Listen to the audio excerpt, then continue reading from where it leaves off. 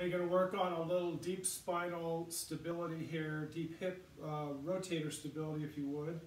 Um, I've got a hip harness on, I've got the band hooked, I've got a gray band, the lightest band starting with hooked to my left hip. It's going across the front of the pelvis and it's uh, back about 45 degrees back behind my right hip. And so I've got it hooked on my left side, but I'm going to use my right leg as the support leg. And so as I sit back into kind of just like a little split squat, I've got my back foot, my left foot non-support leg really kind of going on the ground.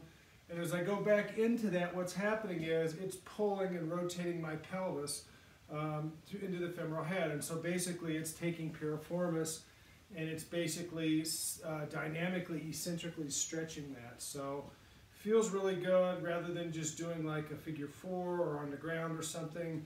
Um, I'm loaded into my foot, I'm loaded into my knee, I'm loaded into kind of a functional posture for an athlete. And so basically to begin with, I'm just stepping back with my left foot.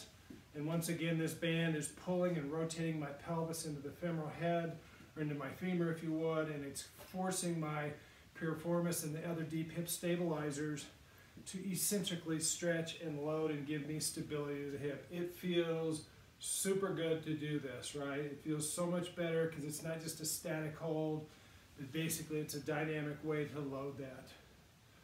You can do the same thing going to the other leg, right? You'd be hooking to the right hip, going across the front, 45 degrees behind my left leg, and then I'd be on my left leg, stepping back with my right foot, and my right foot once again is going into the ground. Try it, it feels great. I think you'll really like it. I think she'll really like it.